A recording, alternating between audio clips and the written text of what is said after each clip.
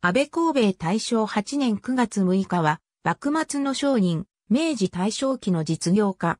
増田や安倍神戸商店を起こし、東商として名を馳せた。横浜舶来座島貿易引き取り組合を組織し、多くの会社の設立に携わり、社長、役員を務めた。15位。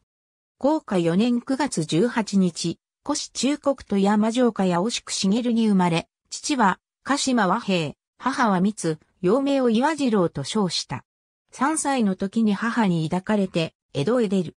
叔父であった安倍長兵衛に実子がなく、養子に入り、幸次郎と改名した。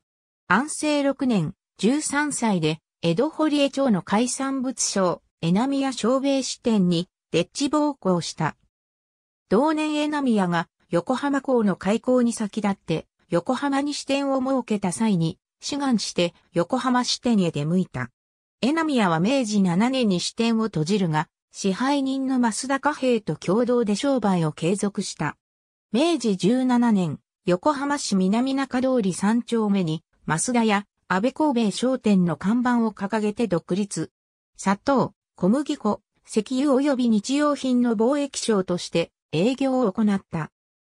明治22年、横浜市議会議員となり、明治28年には横浜商工会議所の常任委員に選任された。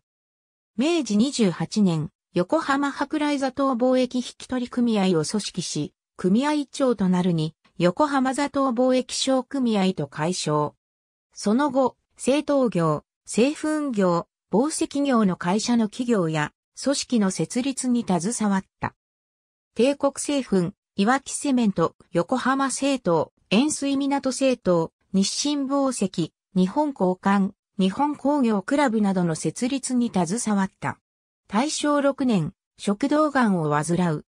病状悪化の折、神奈川県に金100万円の寄付を申し出て、この資金によって神奈川県立商工実習学校が開校された。大正8年、15位に除せられるが、同年9月6日に食道癌のため逝去した。去年73。ありがとうございます。